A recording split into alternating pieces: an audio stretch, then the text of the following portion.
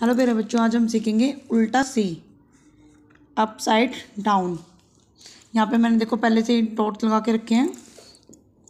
देखो हम कैसे करेंगे इसे। इस वाले डॉट्स को, इस डॉट से ऐसे टच करना है, ऐसे। ऐसे। बट डॉट्स को डॉट से टच करते जाना है।